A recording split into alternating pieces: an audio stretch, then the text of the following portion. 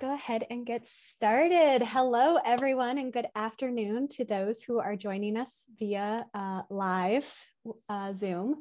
We are so glad to have you tuning into American Sign Language on the Trail. Um, I'm excited to connect with you all and learn together today. And I hope that you're staying warm and dry since here in Central Oregon, we are getting some much needed rain right now.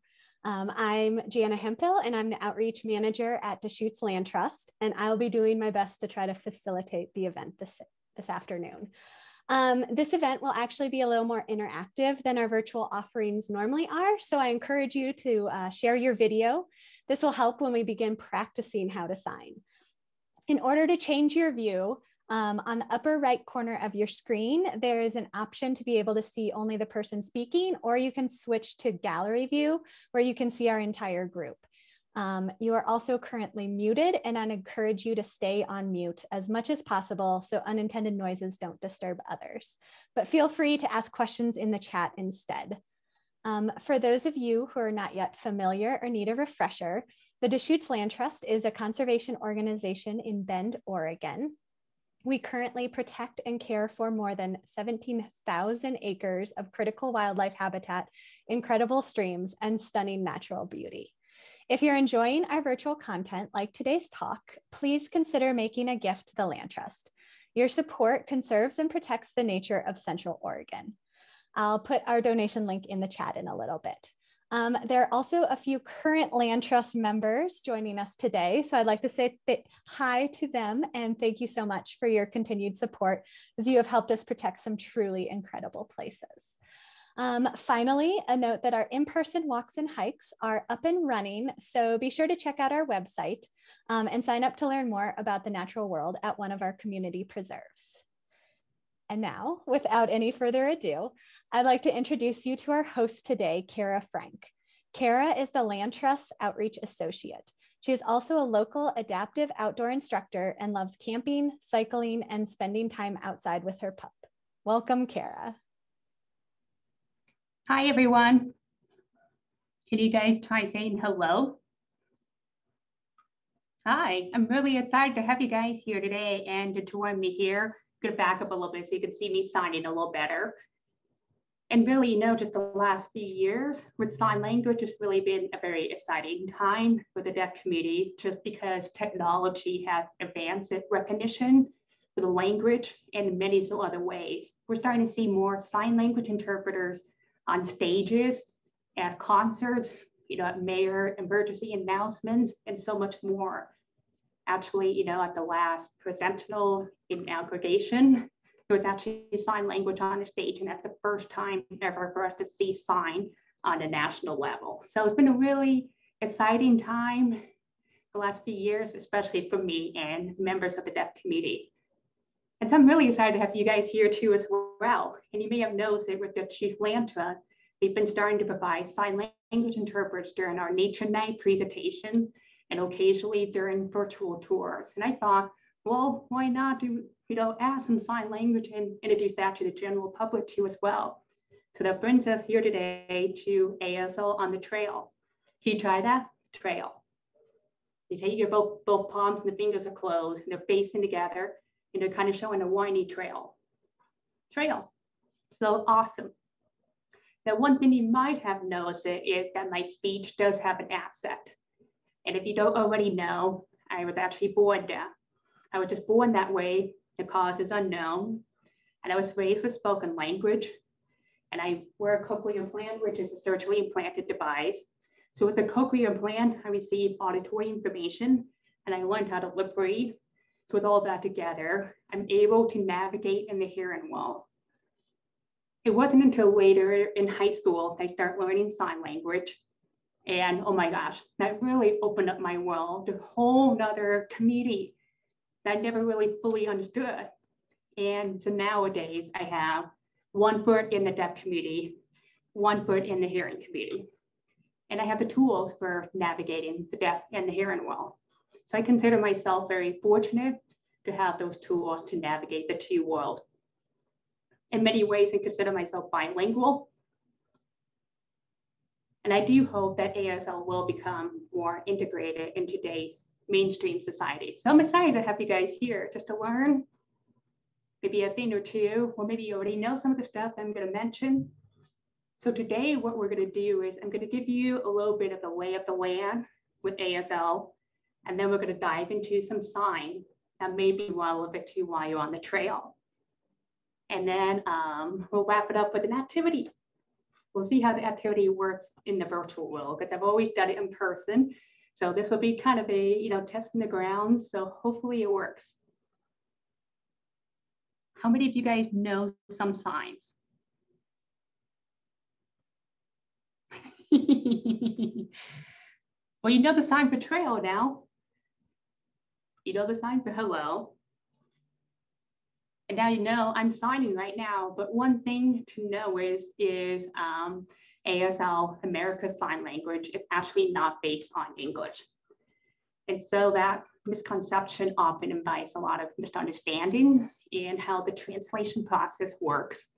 And, you know, oftentimes it's believed that it's really easy, you know, just to provide a sign language interpreter and, you know, it's that. But actually there's more legwork that takes place because in reality, there's a lot of words in English that don't have signs for them. You know, like when I start working with the land trust, I start noticing that more and more, you know, there's a lot of signs about like ecology or the ecosystem, or even more specifically, a key word what the Deschutes Land Trust does is conserve, and that conservation doesn't really have a recognized sign. I've seen so many different ways it's been translated. You know, the safest way is to finger spell the word or you're signing each letter for, for conservation. I've seen some people sign it where it's the blend of two words to convey the concept of one. So like for conservation, I've seen people do save land. I've seen some people do cherish and protect. I've seen some interpreters even sign share and save. There's so many different variations, and it really, really depends on who the audience is, how much they know. If it's maybe a new word to them, it's always best to finger spell it but if it's an interpreter working with me who already has the familiarity with that concept, they know they can blend two words and they know I will recognize what's being conveyed.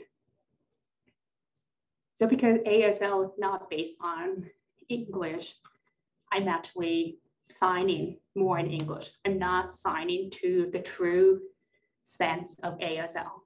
It's really difficult to sign in ASL while speaking at the same time. So what you're seeing is a little different you know, a lot of things. Um, looks like we maybe have one person from Texas, and I think most of the people from the Northwest. Um, and one thing that we have in sign language, a lot of geographical locations don't have signs for them. The exception would be is if the deaf community there is really large, then they would have de developed a sign for that given location. But here in Central Oregon, the deaf community is really small. So we don't have signs for common names here, like Deschutes River or Deschutes County. There's no sign for it. You have to think of spelling. Or even the really popular ski resort, Mount Bachelor. It doesn't have a recognized sign. I could sign bachelor, but that means I am single and available, which is not equivalent to the meaning of the mountain itself.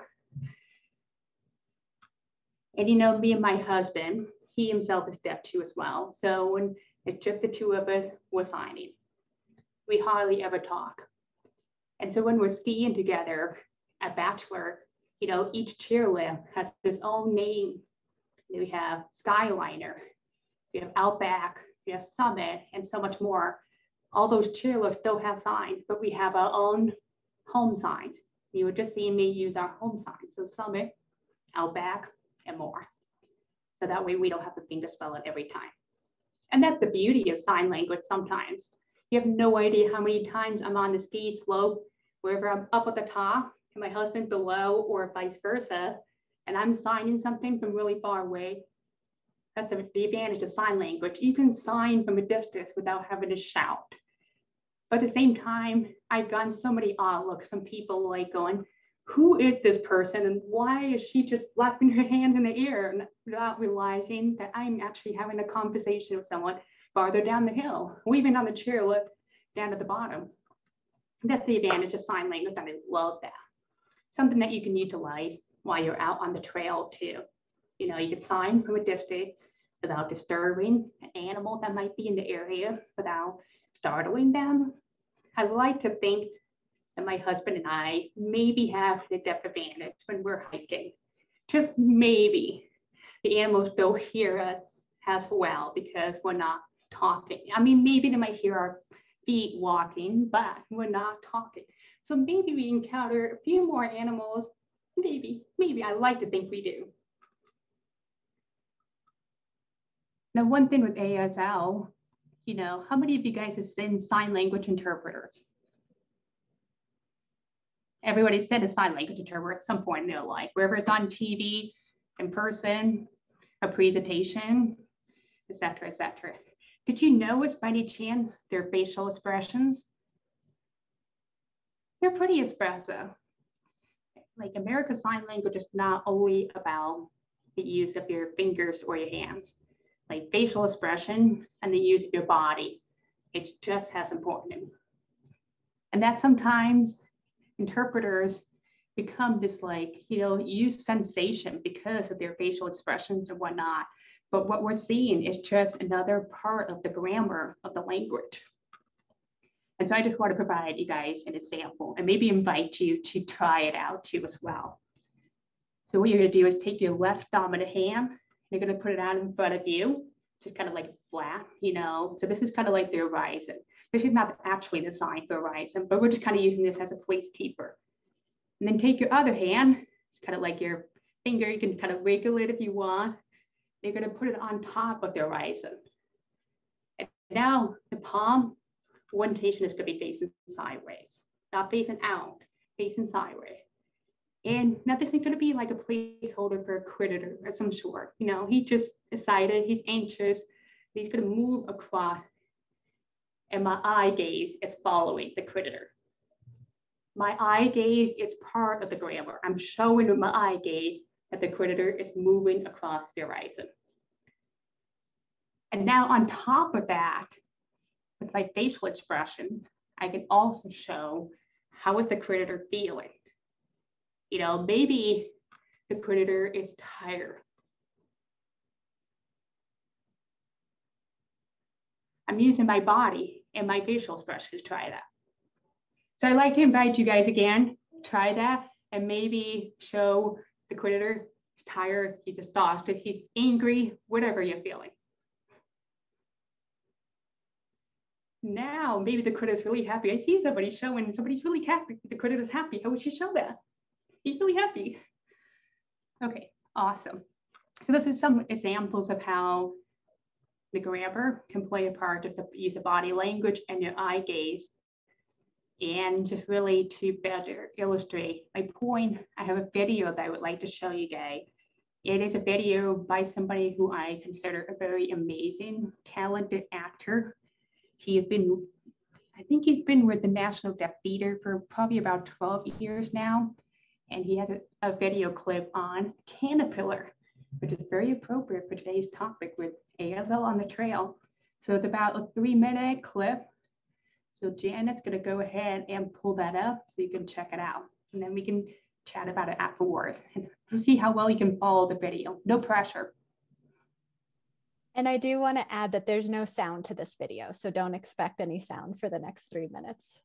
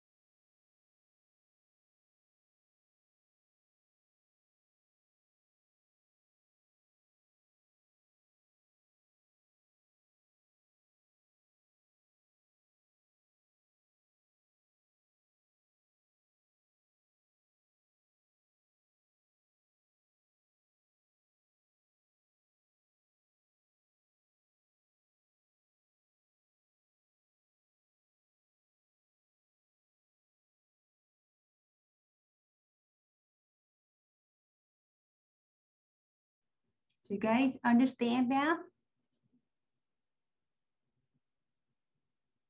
Yeah. A lot of the things that he was using were not actually recognized signs. They were more of placekeepers or gestures to convey a story. So what you were seeing was more of what we call ASL poetry. You saw his the heart beating. You saw the caterpillar. That is actually the sign, the caterpillar. Can you try that? You actually use the sign for tree. It's like you have to advise it again for tree. And one thing with sign language, you can use your dominant hand for tree. You can use your other hand too. It really depends on what your preference is. So, so tree. So we had the caterpillar, we had the tree. Did you see his eye gaze? His eye gaze was so intense, showing everything. And that facial expression, oh my gosh. Another sign that he used that is recognized is butterfly. Do you guys try that one? You take your hands and you kind of wrap the thumbs around. Keep the fingers closed. You can move it. He was showing kind of the butterfly flying away too as well, just kind of more of a expression to show that, just that grace in the air. Oh, I love watching butterflies in the fields. So while we're here today, you know, like I mentioned earlier, that one perk with sign language is that it's silent. And so when you're on the trail, you know, maybe you encounter an animal or something, and you may not want to use your voice. You wanted to show your hiking buddy what you see. And so we're going to go ahead and practice some animal signs. So I'm going to show you guys, try to practice and maybe we'll review them a little bit and then we'll play a little activity with it. And now some of the signs I'm going to show you, a lot of animal signs are pretty iconic. And when I say iconic, I mean that by the sign really looks like the object that we're referring to. And now America's Sign Language, oh, only about roughly about 30% of America's Sign Language is actually iconic. The rest of the language, you know, I could show you the sign and you could ask me, why is that the sign? I wouldn't be able to tell you. You know, that's just how things developed and evolved and became what they are today. The same thing with English words. Some English words, we don't know what the origin of it was. But with the animal signs, they're pretty self-explanatory because they're iconic. Are you guys ready? All right. Hey. All right, so I figure we'll go ahead and start with um, a pretty easy one. At least I consider it pretty easy. You take your open palms, fingers are spread out, And you put your thumb on your forehead and you pull it away. Maybe you might already know what it is. If you don't, it is deer. You're showing the antlers coming out. And you usually just do that one time. I'm just kind of repeating myself to show the demonstration of it. Maybe you see a herd of deer, so you could show that repeatedly and change the position of your body. Like there's so many deers everywhere. Like check it out. Like good point. You can show like all those deers out there. All right, now another sign that have, you take your dominant hand and fingers are closed. The thumb is not sticking out, it's tucked in and you wiggle it and go forward.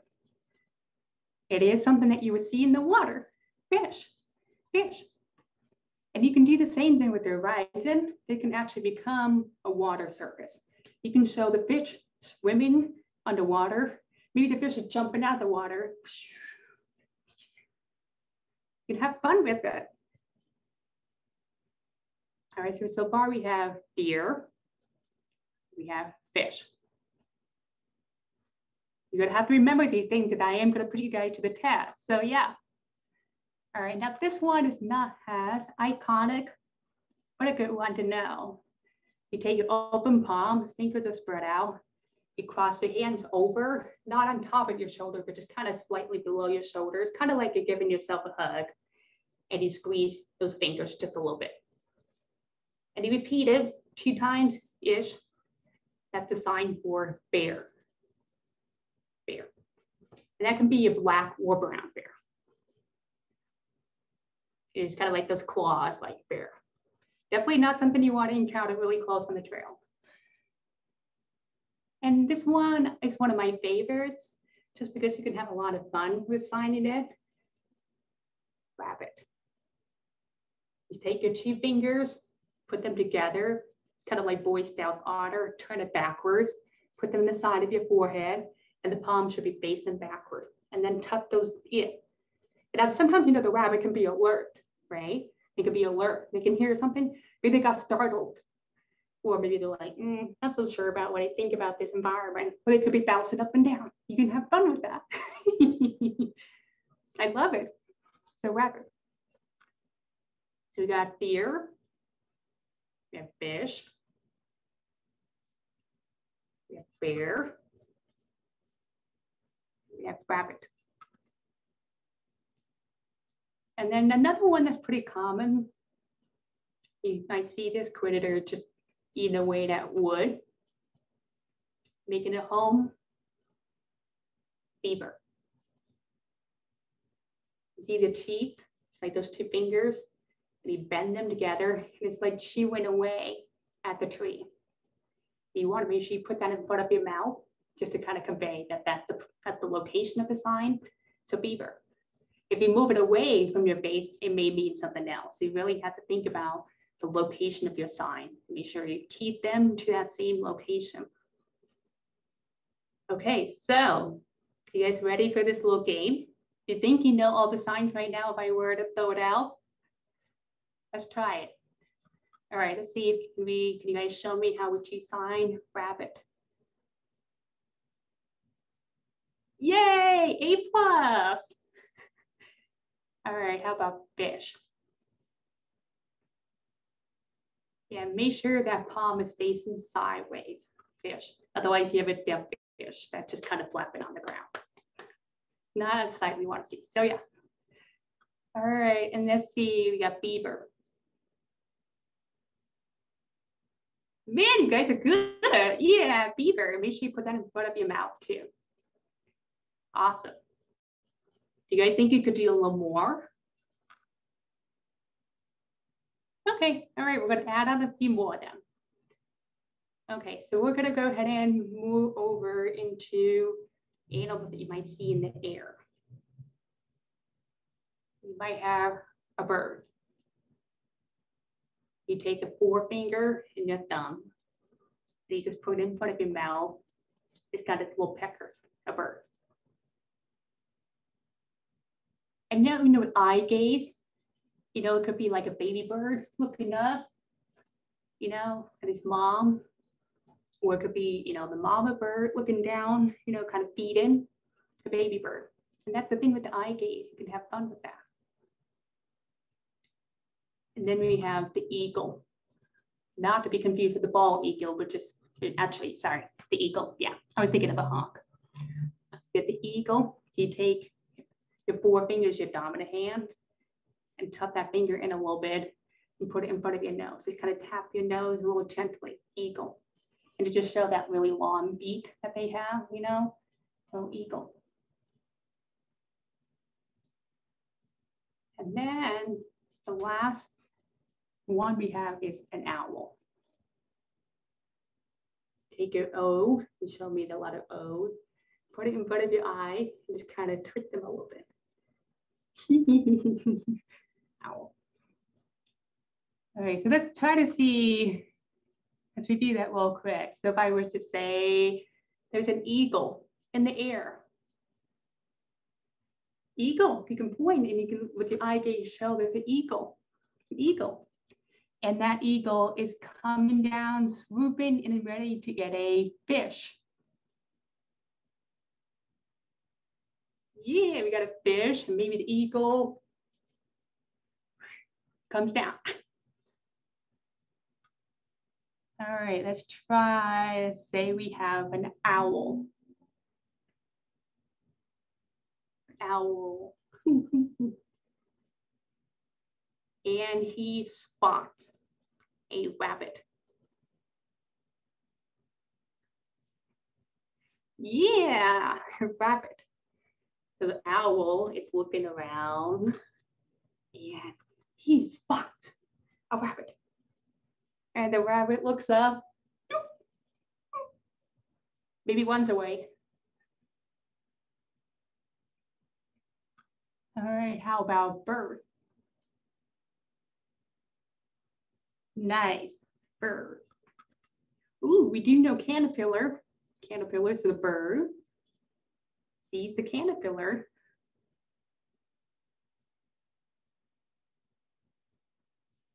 Nice.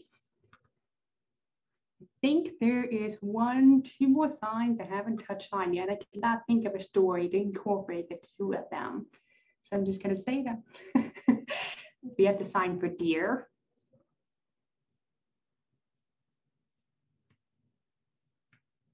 And then we also have the sign for beaver.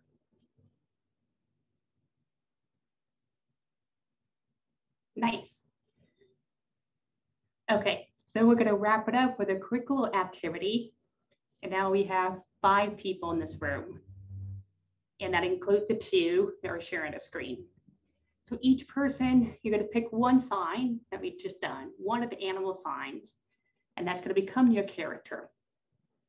So let's go around in a circle, or I'm going to call on each person, and you're going to show me the character that you're going to pick. So for example, if I wanted to be a fish and my name got called out, I would show the group that I am going to be the fish. Then I'm going to call on to the next person.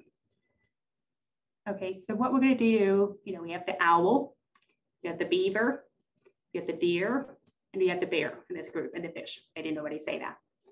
So what you're going to do is I'm going to start. I have to show my character first. I am the fish. And then I'm going to call on to the next character I know in this group. So I'm going to say I'm the fish.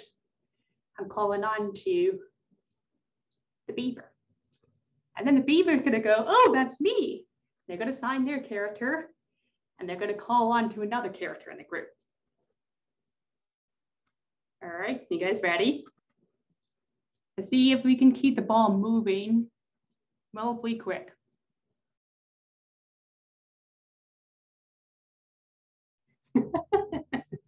All right, good job, you guys. Good pat in the back. Nice. That was beautiful. I really like the use of facial expressions that people were using and just really the attention to detail you're trying to put into the shape of your hand, where your hand's facing, the location of it, because all those little things are aspects of grammar with America's Sign Language. And just maybe when you're out on the trail, you see a deer now, you could just tap your hiking buddy. Look, look. Or a bear, hopefully not. That might be pretty scary. Beaver, a bird, is a pretty common occurrence. Maybe an eagle.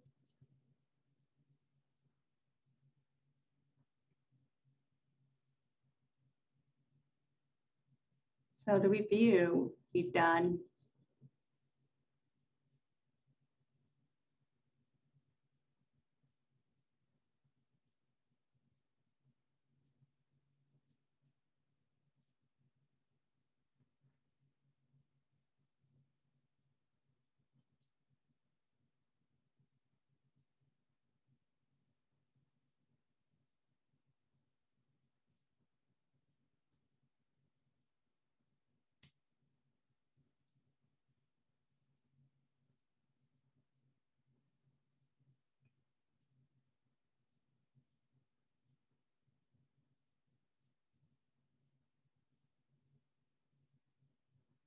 What's your favorite one?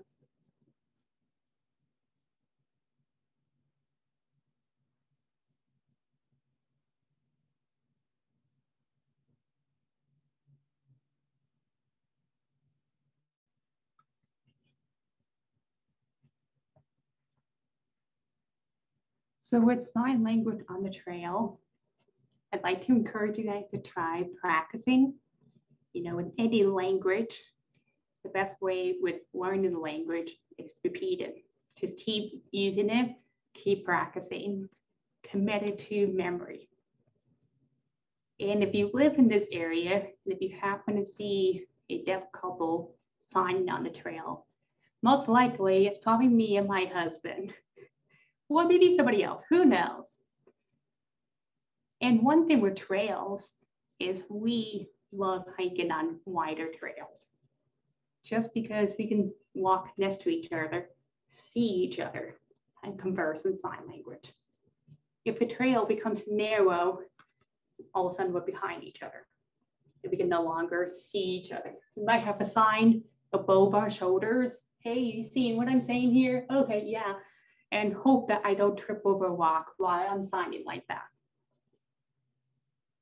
But really, regardless of each person's background in the language, you know, whether you're a novice, intermediate, or maybe fluid in the language, it is expected of any signer, regardless of their background, to adjust their signing to match like the reader's ability level. So the person who's reading my signs, it is expected of me to change the pace how I deliver my information, maybe the width of my signs.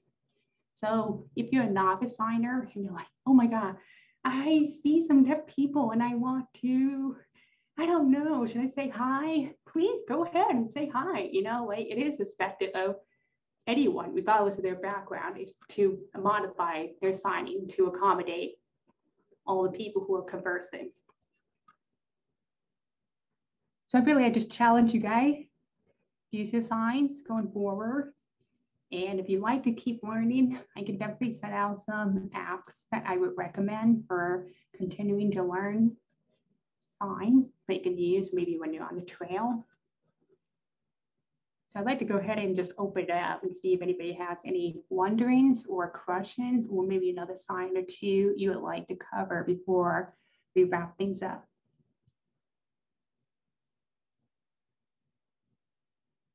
You can turn on your microphone or you can type if you like. Ooh, alligator. That is a good one to know. That's also a very iconic sign. You take your hands, usually your arms are pretty spread out, and you're showing the jaws, you know, alligator. And now sometimes I may not have that much space in front of me, so it's okay to make it small if you need to, you know, if it doesn't feel natural to put your arms all straight out, you know, like maybe a smaller space, you know, I'm in the bus, my seat's short, I can still say alligator. alligator. Uh, so there actually isn't a sign for elk, but normally what people do with the sign for deer is to modify it to make it a little bit, you know, to mimic the horn of the elk, or maybe even in the moose, you know, like the moose tend to have a little more curled. So some people kind of curl it and for an L, they kind of make it just, just a little bit larger, you know, but usually you finger spell it. And it's only three letters, so E-L-K. I have a type question Jana was asking about. I'm curious about the word for binoculars because I feel like it would be oh. similar to owl, but maybe it's not an icon sign. That's a really great question because the two are really, really similar.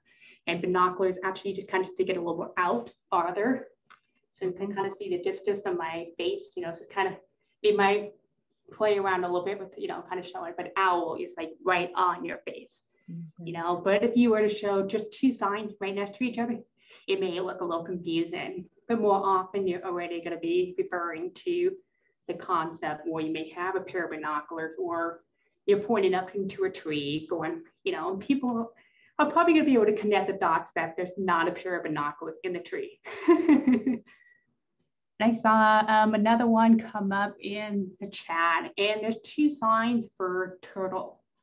It just really depends on the type of turtle that you're talking about. We're talking about like a really large turtle, like a sea turtle, then you normally take your left dominant hand and fingers are closed, thumbs sticking out. The other hand is the same shape. Put your dominant hand on top and move your thumbs forward. So it's like it's a turtle kind of swimming in that water. So if we're talking about like a sea turtle out in the mm-hmm. ocean, more often that's the sign that we use. But we're talking about a small turtle or maybe a pet turtle or maybe a turtle you might see in the pond or something a little more in a more regular occurrence out on a trail than you. And I love this one. It's actually one of my favorites. I'm so excited it came out. you take your dominant hand and it's a closed fist. The thumb is just sticking up a little bit. Take your left dominant hand and cup it over. So it's like the shell.